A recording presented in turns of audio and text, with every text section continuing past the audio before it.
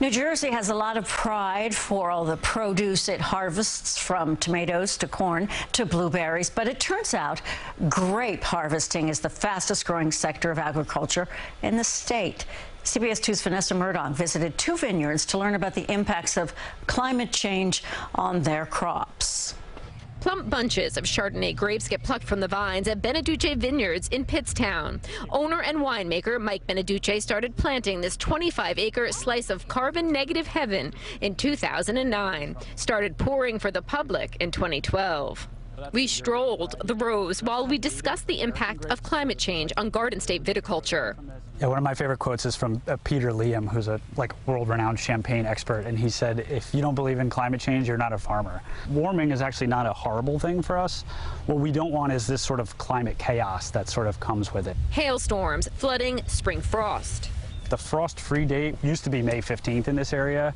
In the last decade, we we've had two or three frost events that were up until May 20th. Beneduce says the change may seem slight, but budding vines are highly sensitive to temperature.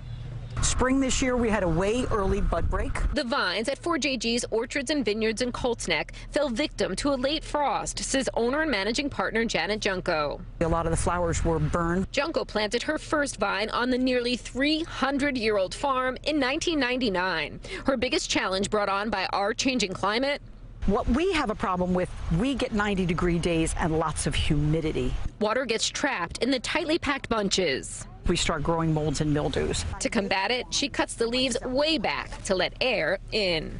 When you first started back in 99, was this cutting back of the leaves something you needed to do? No, we never did leaf pulling. In fact, we only bought a leaf puller two years ago.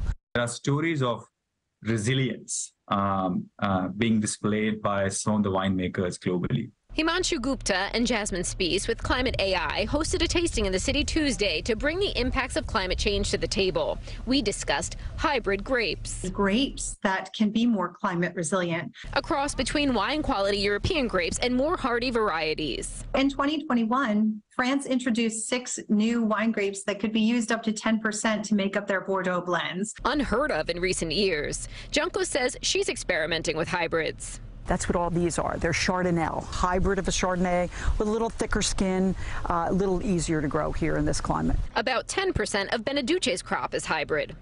Wine production, is it in jeopardy because of climate change? I think it's less that it's in jeopardy and more that it's changing. We'll just have to get more creative. People have to have an open mind. An open mind to try wine made from grapes that thrive in a changing climate. Vanessa Murdock, CBS 2 News.